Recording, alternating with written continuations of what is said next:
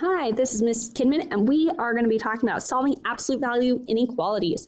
So remember, inequalities mean that we are talking about things that are not necessarily equal. We've got greater than or equal to, less than or equal to, greater than, and less than. Those are the inequalities that we're going to be looking at today.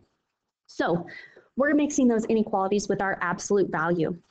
In this first problem here, we've got the absolute value of the absolute value of x is less than or equal to 4. So if that's the case, I want to figure out what x values can I put in here where they're going to be less than or equal to 4. So the big thing that I want to do first is figure out what are my key values that I'm looking at. And the numbers that we're comparing it with is this number 4 here. So imagine it said the absolute value of x equals 4. What would those solutions be? Well, in the last video, we talked about that that would be x equals 4 and x equals negative 4. Now with absolute values, 0 is also a crucial number. So when we're looking at these, there's kind of a couple ways we can look at it.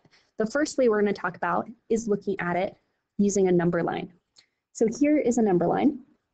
We've got 0, we've got 4, we've got negative 4, and notice how this kind of creates four areas here for us to look at. We've got this area here, that's less than negative 4.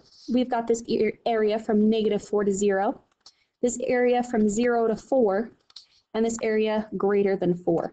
Now those four areas, we want to test to see whether or not they work in this inequality. And we can do that just by picking a number that exists within that. So let's start by picking a number that is less than negative 4, like negative 5. So I'm going to plug it into our expression up here. So negative, the absolute value of negative 5. We're asking, is that less than or equal to 4? Well, the absolute value of negative 5, that's going to be 5. Is 5 less than or equal to negative 4? No. So I know that it's impossible for my solution to be down here because if negative 5 doesn't work, negative 6 doesn't work, negative 10 doesn't work, and negative 100 doesn't work. Let's test that next area. So a number between negative 4 and 0 is negative 1. The absolute value of negative 1, well, I know that that equals 1 because it's 1 away from 0. And I want to ask myself, is 1 less than or equal to 4? Yes. Yes, it is. So this area works. Now let's test that area from 0 to 4, doing the exact same thing. The absolute value of what's a number in there? 2. Well, the absolute value of 2 is 2. Is 2 less than or equal to 4? Why, yes. Yes, it is. And then lastly, we want to test a number above 4. So let's try 6. The absolute value of 6, well, that's 6. Is 6 less than or equal to 4? No, no, it's not. So this area doesn't work. So our solutions, the way we're going to write it, is meaning that we have any number from negative 4 to 4 that will work here. Now, because our problem up here says that it's equal it's less than or equal to 4, that means that 4 and negative 4 are options for us to use here. So our solution in this case is going to be, we have when x is greater than or equal to negative 4 right here, and when x is less than or equal to 4 here. But we want to combine those, right? So x has to be both of those things. So in that case, we can write it as one long expression that says that negative 4 is less than or equal to x, which is less than or equal to 4. And this here is our solution. Now, I want you to notice something. And this is kind of a cool pattern. And math is all about patterns, right? So the absolute value, looking at this problem here, the absolute value of x being less than or equal to 4, the solutions that we came up with here were x is less than 4 and x is greater than or equal to negative 4. Now notice something here. In this first case, I just brought that x down, the sign is the same, and that 4 stays the same. And that's an option. With my second solution here, notice that the x is the same. My absolute value sign has been flipped, or my inequality has been flipped, and the sign has changed on that last number. I can do this again with as many numbers as I want, and I can see that my solution here is always going to end up that way. there's going to be two solutions. And one is going to be where I keep the numbers the same. But we drop the absolute values.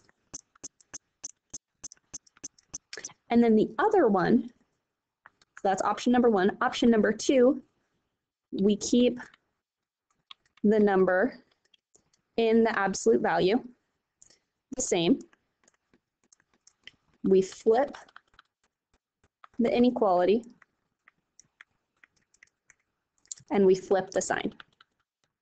So if that number on the outside here is a positive 4, we're going to flip it to a negative 4. And our inequality flips from being less than or equal to to greater than. And these two solutions will be consistent for every single problem that we do. So with that being the case, we can look at this problem here where the absolute value of x is less than 4, and we can see that exact same thing. I can test it on my number line here. So with it being 4, we still have 0, 4, negative 4, and I can test those values. Negative 5, if I put that in there, that is not going to work. If I put a negative 2 in there, that is going to work. If I put a 1 in there, that'll work. If I put a 5 in there, that will not work.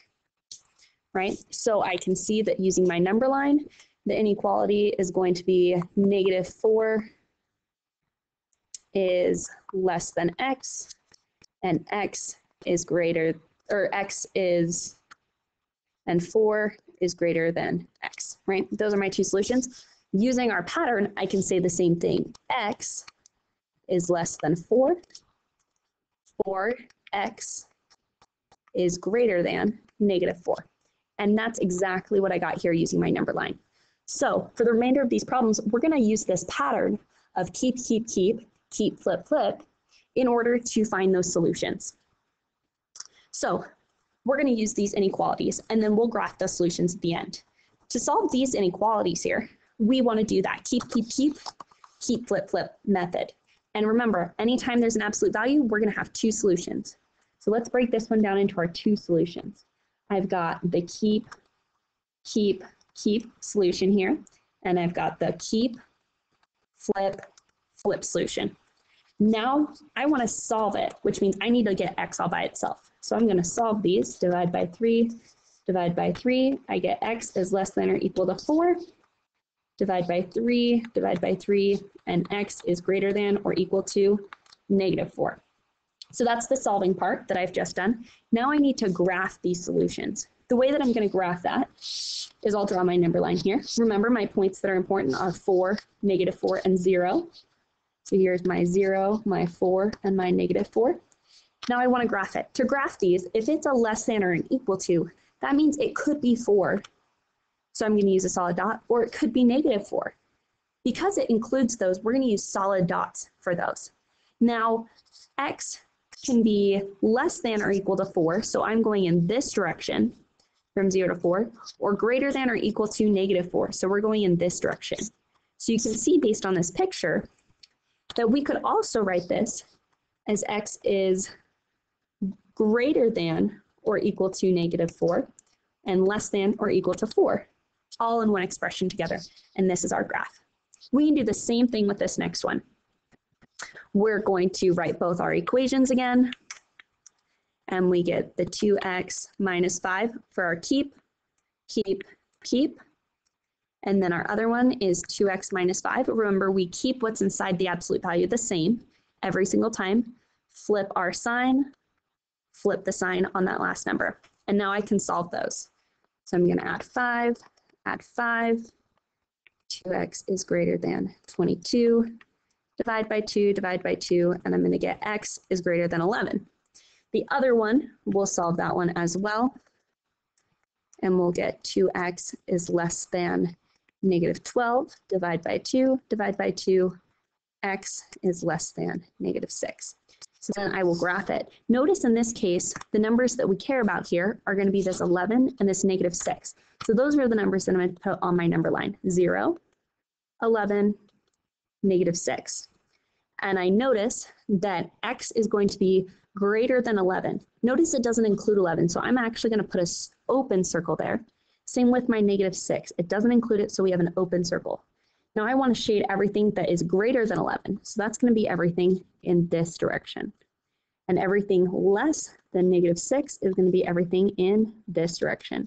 And there you go. That's an example of how you would solve inequalities that have absolute values within their expression and how you would graph their solutions